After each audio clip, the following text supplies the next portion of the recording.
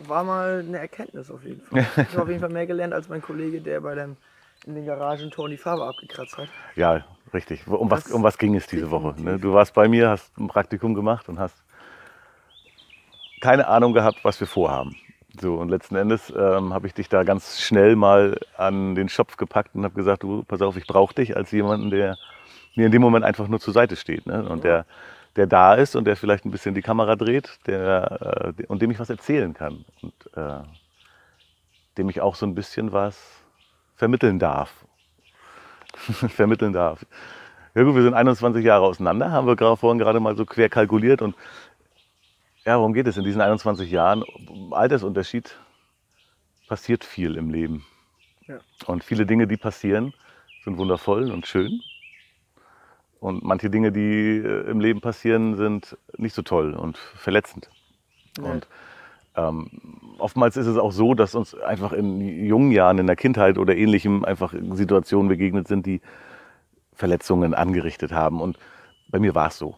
Das ist der Hintergrund. Ich habe halt ähm, die letzten vier, fünf Jahre, ich sag mal aktiv die letzten zweieinhalb Jahre, aber die letzten vier, fünf Jahre mich sehr viel mit mir beschäftigt.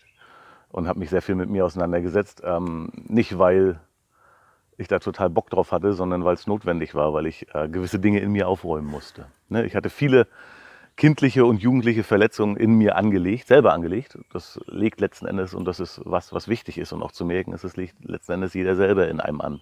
Ja, ja, Ne, dir passieren natürlich im Außen Dinge, die du vielleicht nicht deuten und, und, und erklären und vielleicht auch nicht verstehen kannst, aber Fakt ist, dass die Verletzung in dir von dir angelegt ist und auch von dir wieder entfernt werden kann, Kann, ja. darf, möchte, Sollte. möchte muss, sollte. Wie wollen wir es definieren? Richtig. Ich habe mir das zur Aufgabe gemacht. Ich habe mir genau das zur Aufgabe gemacht, zu sagen, ey, Alter, irgendwas stimmt nicht. Ja, du bist, ähm, ich bin dato jetzt irgendwo zwölf Jahre selbstständig.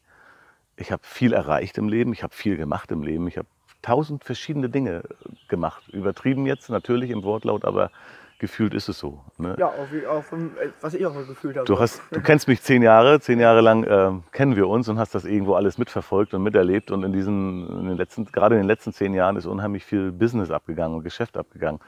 Warum? Weil ich natürlich zum einen Geld verdienen wollte, Ja. zum anderen aber auch, weil mich irgendwie ein Stück weit was getrieben hat, was ich ähm, jetzt im Nachgang als Selbstverwirklichung erkenne.